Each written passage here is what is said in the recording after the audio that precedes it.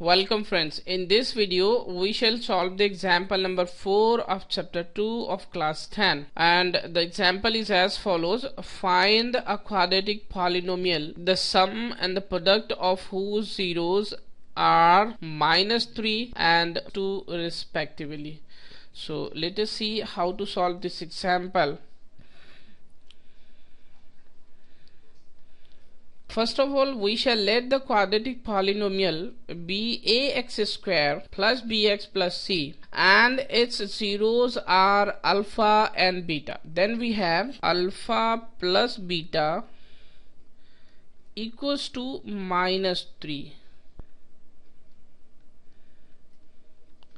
and alpha into beta is equals to positive 2 and we know that if our quadratic equation is of the form ax square plus bx plus c then the sum of zeros is equals to minus b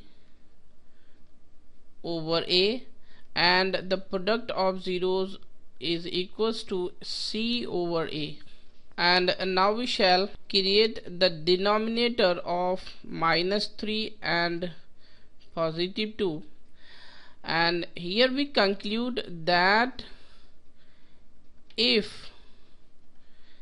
a is equals to 1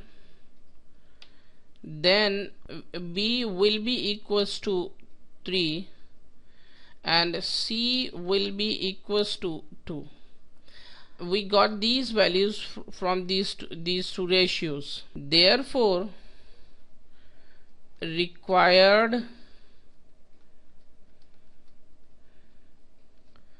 polynomial